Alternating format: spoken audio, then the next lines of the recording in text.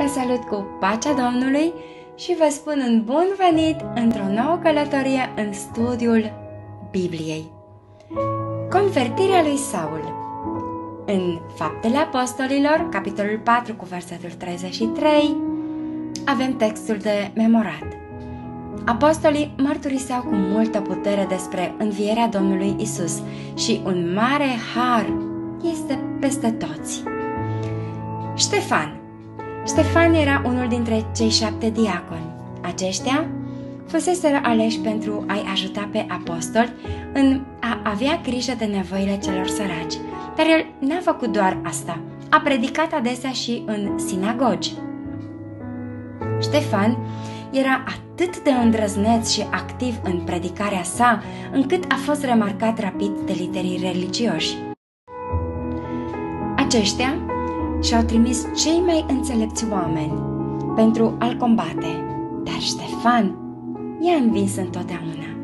În cele din urmă, Ștefan a fost dus la închisoare, iar Consiliul a cerut ajutor de la cei mai mari învățați pe care îi avea. Saul, din orașul Tars, a preluat conducerea în încercarea de a dovedi că Ștefan greșea.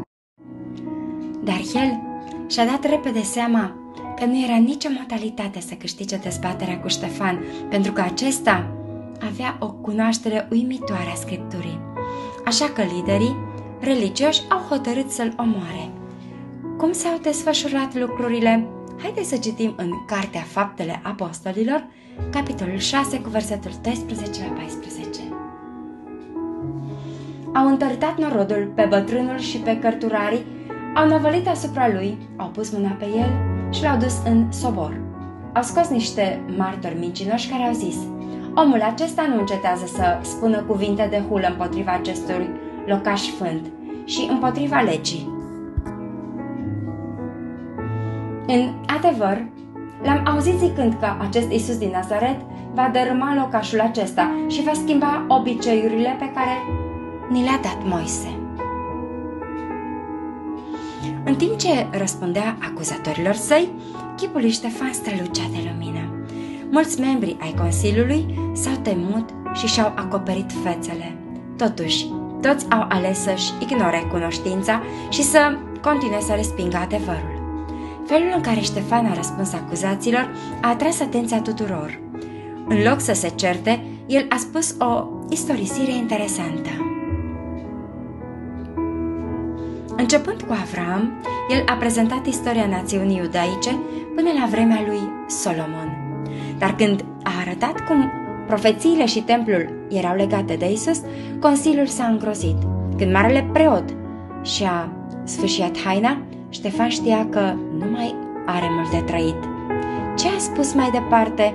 Haideți să citim în capitolul 7 cu versetele 51 la 53. Oamenii tari la cerbice, netăiați împrejur cu inima și cu urechile, voi totdeauna vă împotriviți Duhului Sfânt, cum au făcut părinții voștri. Așa faceți și voi. Pe cei din proroci nu i-au pregonit părinții voștri? Au oporât pe cei ce vesteau mai dinainte venirea celui neprihănit, pe care le-ați vândut acum și le-ați omorât. Voi care ați primit legea dată prin îngeri și n-ați păzit-o. Membrii Consiliului știau că aceste cuvinte erau adevărate și asta îi făcea furioși. Când s-au repezit la Ștefan, ei se comportau mai mult ca niște animale sălbatice, nu ca niște ființe umane. Ștefan abia i-a observat. Ce vedea el Haideți să citim versetele 55 și 56. Dar Ștefan, plin de Duhul Sfânt, și-a pironit ochii spre cer. A văzut slava lui Dumnezeu și pe Isus stând în picioare la dreapta lui Dumnezeu și a zis, Iată, văd cerurile deschise și pe Fiul omului stând în picioare la dreapta lui Dumnezeu și mai mânioși, membrii Consiliului și-au acoperit urechile și au făcut gălăgie ca să nu mai audă cuvintele lui Ștefan. Ce s-a întâmplat cu Ștefan? Haideți să citim versetele 58 la 60. L-au târât afară din cetate și l-au ucis cu pietre.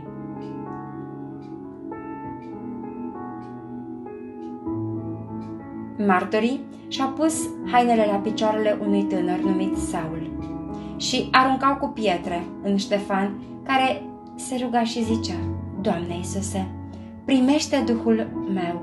Apoi a îngenunchiat și a strigat cu glas tare, Doamne, nu le ține în seamă păcatul acesta.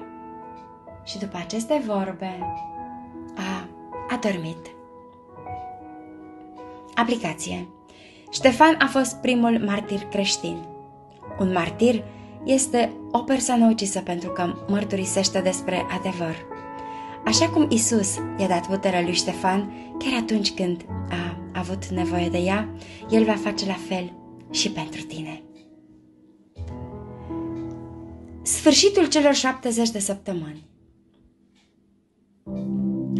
Lapidarea lui Ștefan a marcat un punct important în istoria națiunii iudaice. Până atunci, fuseseră poporul special al lui Dumnezeu. Dumnezeu dorise să-l folosească pentru a fi o lumină în lume. Dar nu s-a întâmplat așa. Haideți să citim Faptele Apostolilor, capitolul 7, cu versetul 51 la 53 și să vedem cum a descris Ștefan națiunea iudaică. Oamenii tari, la cerbice, ne tăiați împrejur cu inima și cu urechile. Voi totdeauna vă împotriviți Duhului Sfânt. Cum au făcut părinții voștri, așa faceți și voi. Pe care din proroci nu i-au primit, gonit părinții voștri, au omorât pe cei ce vesteau mai dinainte venirea celui neprihănit, pe care l-ați vândut acum și l-ați omorât, voi care ați primit legea dată prin îngeri și n-ați păzit-o. Totuși, Chiar după ce l-au ucis pe Isus, Fiul lui Dumnezeu, cei din națiunea iudaică au mai primit o șansă de a se pocăi. Dumnezeu i-a trimis pe ucenici să predice timp de încă trei ani și jumătate în Ierusalim. Mulți oameni au auzit acest mesaj și au crezut. Cu toate acestea, liderii religioși au devenit și mai încăpățânați în respingerea adevărului. Dumnezeu îi arătase lui Daniel că națiunii iudaice îi vor fi dați încă 490 de ani, adică 70 de săptămâni, pentru a duce lumii Evanghelia. Acel timp s-a încheiat în anul 34 după Hristos, odată cu lapidarea lui Ștefan de către liderii religioși ai națiunii. Omorându-l pe Ștefan, cel care prezentase ultimul apel de la pocăință, națiunea iudaică făcuse ultima alegere de respingere a lui Isus. De atunci, națiunea iudaică nu avea să mai fie poporul special al lui Dumnezeu. Desigur, evrei individual puteau accepta în continuare mesajul lui Isus și să fie mântuiți, dar Dumnezeu nu avea să mai folosească națiunea iudaică pentru a-l fi martoră. De acum încolo, avea să folosească biserica creștină. După ce l-a respins complet pe Isus, Sinedriul și-a întors furia asupra altor credincioși din Ierusalim. Saul a fost onorat pentru contribuția sa în uciderea lui Ștefan și a devenit membru al Sinedriului. Apoi a devenit persecutorul șef al bisericii în Ierusalim. Credincioși se temeau de Saul ce au făcut mai departe? Haideți să citim versetul 8 cu 1 la 4. Saul se învoise la uciderea lui Ștefan. În ziua aceea s-a pornit o mare prigonire împotriva bisericii din Ierusalim și toți afară de apostoli s-au împrășteat prin părțile iudeii și ale Samariei. Niște oameni temători de Dumnezeu au îngropat pe Ștefan și l-au jălit cu mare tânguire.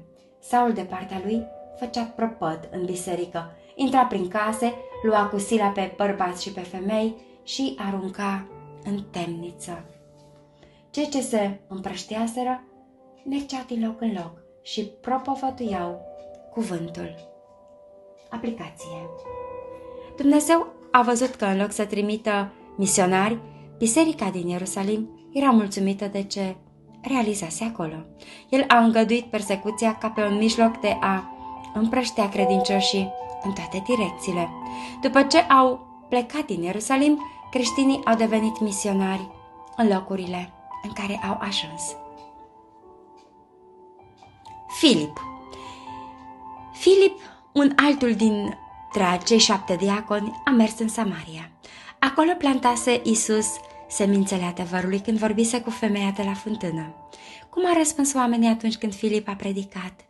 Și a făcut minuni? Haideți să citim versetul 8. Și a fost o mare bucurie în cetatea aceasta. În Samaria era un om pe nume Simon. Acesta îl slujise pe satana și era foarte popular pentru că satana făcuse minuni prin el. Acum pretindea că el crede în Isus și chiar fusese botezat. Simon era foarte interesat de puterea pe care Dumnezeu i-o dăduse lui Filip și asta pentru că era mai mare decât puterea pe care o primise de la satana.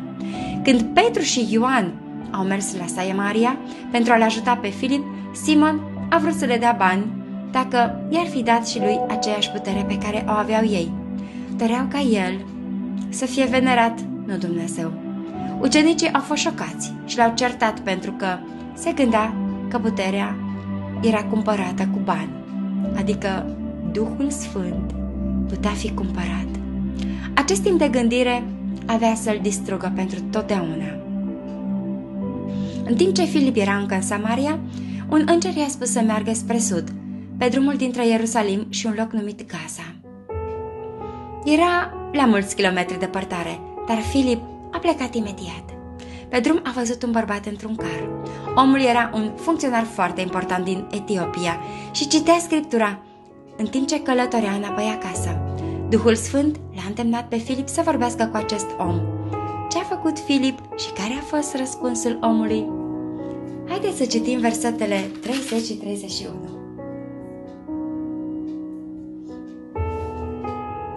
Filip a alergat și a auzit pe etiopian citind pe prorocul Isaia. El i-a zis, Înțelegi tu ce citești? Famenul a răspuns, Cum aș putea să înțeleg dacă nu mă va călăuzi cineva? Și a rugat pe Filip să se suie în car și să șadă împreună cu el. Au avut un studiu minunat în timp ce mergeau împreună. Începând cu Isaia 53, Filip i-a explicat profețiile Vechiului Testament despre Isus. Când au ajuns lângă apă, omul a vrut să fie botezat. Ce a spus Filip? 37 și 38. Haideți să citim. Filip a zis, dacă crezi în toată inima, se poate. Famenul a răspuns, cred că Isus Hristos este Fiul lui Dumnezeu. A poruncit să stă carul, s-au pogorât împreună în apă și Filip a botezat pe famen. Aplicație Ar putea Dumnezeu să te folosească în același mod în care l-a folosit pe Filip? Asculți imediat ca și Filip. Vorbești cu mult curaj despre Isus ori de câte ori ai ocazia. Convertirea lui Saul În Ierusalim, Saul îi persecuta cu sârb pe cei care credeau în Isus, însă el nu era întotdeauna sigur că ceea ce făcea este corect. Se gândea de multe ori la uciderea lui Ștefan. Încă putea să-i vadă fața, care arăta ca o față de înger. Își amintea prezentarea clară a adevărului de către Ștefan, precum și atitudinea sa iertătoare față de dușmanii săi. Îi întrebase pe liderii religioși despre asta, dar aceștia îl convinseseră că ei aveau dreptate. Mintea lui Saul nu era împăcată. Uneori stătea treaz toată noaptea și se lupta cu propria conștiință. De mai multe ori, Saul aproape ajunsese la concluzia că Isus era într-adevăr Mesia cel promis, dar mereu își reînnoise angajamentul de a se opune lui Isus și urmașilor săi. Nemulțumiți de persecutarea credincioșilor din Ierusalim, liderii religioși au decis că trebuie să facă același lucru în alte orașe. Saul s-a oferit să ajute și a pornit curând spre Damasc, la mai multe 210 km nord față de Ierusalim. Avea cu el scrisori de la Marele Preot. Acesta îi dăduse autoritatea de a-i aduce la Ierusalim pe credincioșii găsiți în Damasc. Dumnezeu avea însă un alt plan. Ce s-a întâmplat pe drum? Haideți să citim Faptele Apostolilor, capitolul 9 cu versetul 3 la 6. Pe drum, când s-a apropiat de Damasc, deodată a strălucit o lumină din cer în jurul lui. El a căzut la pământ și a auzit un glas care zicea, Saule, Saule, pentru ce mă prigonești? Cine ești tu, Doamne? a răspuns el și Domnul a zis, Eu sunt Isus, pe care îl prigonești. Ți-ar fi greu să arunci înapoi cu piciorul într-un țepuș. Tremurând și plin de frică, el a zis, Doamne, ce vrei să fac? Scoală-te, i-a zis Domnul, intră în cetate și ți se va spune ce trebuie să faci. Când lumina s-a stins, Saul și-a dat seama că era orb. Prietenii lui l-au condus pentru restul drumului către Damasc și l-au lăsat în casa unui credincios. Saul n-a băut și n-a mâncat timp de 30 zile. Cu ce gânduri și-or fi ocupat mintea? Isus era cu adevărat Mesia cel promis. Ștefan avusese dreptate, iar Saul greșise. Îi lăsase pe liderii religioși să-l convingă de o minciună. Lucrase pentru satana. Cum ar putea Dumnezeu să-l ierte vreodată? Cât de singur se simțea. Aplicație Duhul Sfânt are putere să convingă o persoană de păcat. Asigură-te că răspunzi cu pocăință atunci când El te convinge de păcat, așa cum a făcut Saul pe drumul spre Damasc. Pregătirea pentru misiune Saul era în Damasc, orb și simțindu-se complet singur. Când a întrebat ce vrea Dumnezeu de la el, acesta i-a spus imediat. După trei zile, Dumnezeu i-a spus una dintre credincioșii din Damasc, Anania, să meargă și să vorbească cu el. Ce i-a spus Anania lui Saul? Haideți să citim capitolul 22 cu versetele 12 la 16.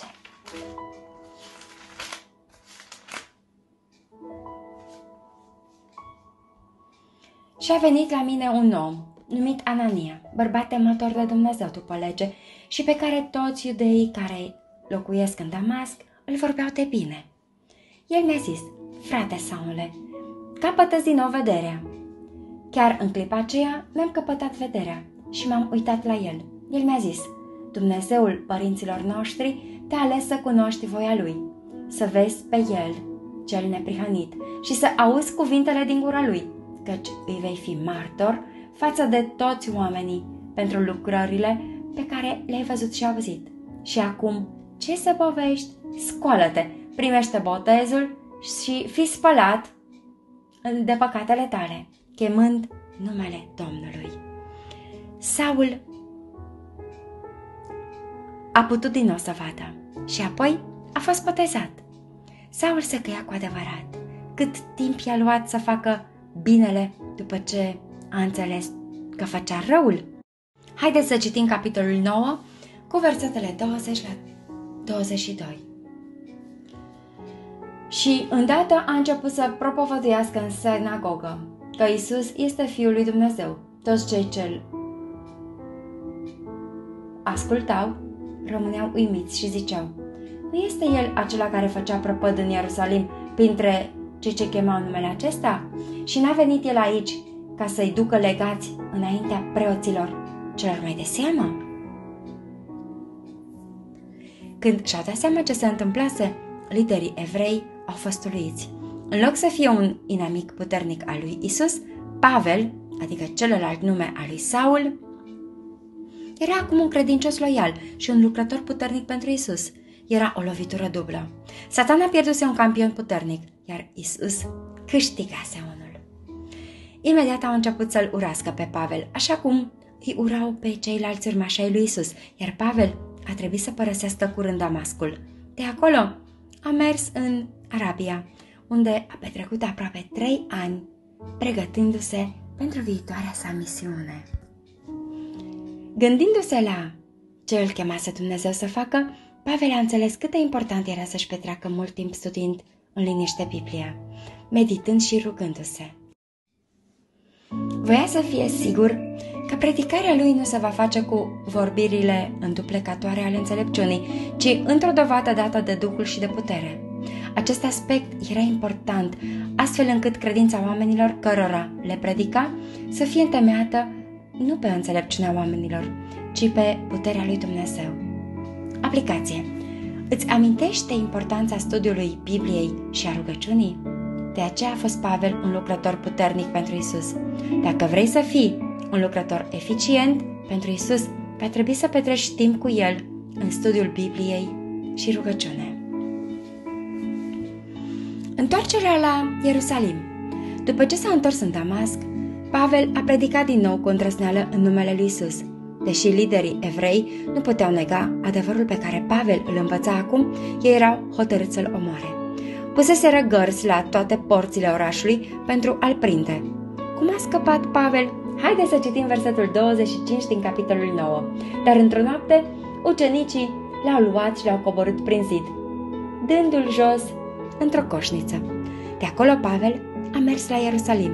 Dorea să se întâlnească cu ucenicii, dar își amintea cât de mult îi persecutase pe credincioșii de acolo și că încă se temeau de el. Le venea greu să creadă că el chiar se schimbase. În cele din urmă, datorită unei persoane speciale, ei au înțeles repede că Dumnezeu le trimisese un campion puternic pentru adevăr și că puteau avea încredere în el. Pe cine a folosit Dumnezeu pentru a-i convinge? Haideți să continuăm cu versetul 27 și 28. Atunci, Barnaba l-a luat cu el, l-a dus la apostol și l-a istorisit cum pe drum sau îl văzuse pe Domnul care i-a vorbit și cum în Damasc propovăduise cu îndrăsneală în numele lui Isus. De atunci se ducea și venea împreună cu ei în Ierusalim. Pavel avea o dorință puternică în inimă, să-i convingă pe liderii religioși că Isus a fost Mesia și să-i ajute să creadă în El. Lucrase cu și pentru acești oameni și simțea că îi cunoștea bine. Era sigur că ei erau cu adevărat sinceri în inimile lor și doreau să facă binele. Când s-a întâlnit însă cu ei și le-a arătat din scripturi de ce crede în Isus, Pavel a înțeles repede că nu erau deloc sinceri. Ce au încercat să facă? Haideți să citim versetul 29. Și propovăduia cu îndrăzneală în numele Domnului. Vorbea și se întreba și cu evreii care vorbeau uh, grecește, dar ei căutau să-l omoare. Dacă acest lucru ar fi ajutat la mântuirea unora, Pavel era gata să-și dea viața, dar Dumnezeu avea alte planuri. Ce urma să facă? Haideți să citim în capitolul 22, versetul 17 la 21. Și mi s-a întâmplat că, după ce m-am întors la Ierusalim, pe când mă rugam în templu, am căzut într-o răpire sufletească și am văzut pe Domnul care îmi zicea, grăbește-te, ieși iute din Ierusalim, căci nu vor primi mărturia ta despre mine. Și am zis, Doamne, ei știu că eu băgam în temniță și băteam prin sinagogi pe cei ce cred în tine. Și că atunci când se vărsa sângele lui Ștefan, martorul tău, eram și eu de față, îmi uneam în cuvințarea mea cu acelorlalți și păzeam hainele celor ce-l omorau. Atunci el mi-a zis, du-te, căci te voi trimite departe, la neamuri. Când a auzit aceste cuvinte din viziune, credincioșii din Ierusalim l-au ajutat pe Pavel să fugă în orașul său de origine, Tars. Aplicație Pavel arăta că viața lui fusese complet schimbată. Acum era dispus să moară datorită adevărului pentru care odinioară îi omorâse pe alții. Aceasta este pocăința adevărată. Are loc o schimbare completă când îl lăsăm pe Isus să trăiască în noi. Fiți binecuvântați și să fiți buni slujitori, ca și Pavel, Domnul cu voi!